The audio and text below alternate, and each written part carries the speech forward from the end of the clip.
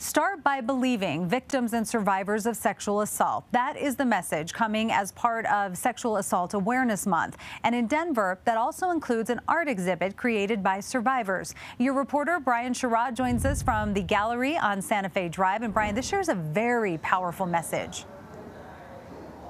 And Michelle, sharing these stories aren't easy. You can see it in the artwork all around us. This is just one of several rooms. These survivors say it's always hard to relive their traumas and have people not believe them. But these survivors are not here alone. They have the backing of the Denver District Attorney, Denver Police Department, and Denver Health. Denver DA Beth McCann tells us sexual assaults happen way too much, with two in every three sexual assault incidences not being reported to police. This includes one in two women, one in three men, and one in two trans and non binary individuals. McCann says the lack of reporting allows offenders an opportunity to reoffend.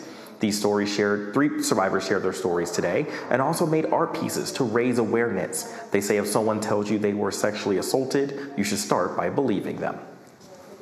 We stand together, and the perpetrators will always stand alone. I want to say that rape is rape, no matter how many, how many, how many, or how much people try to categorize it.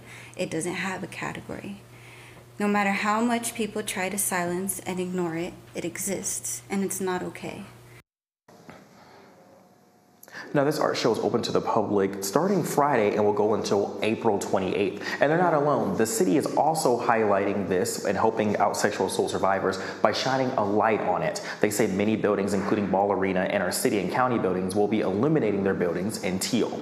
Live in the Santa Fe Art District, I'm Brian Sherrod covering Colorado First. Brian, thank you. Lakewood police are investigating a deadly shooting at a fourplex near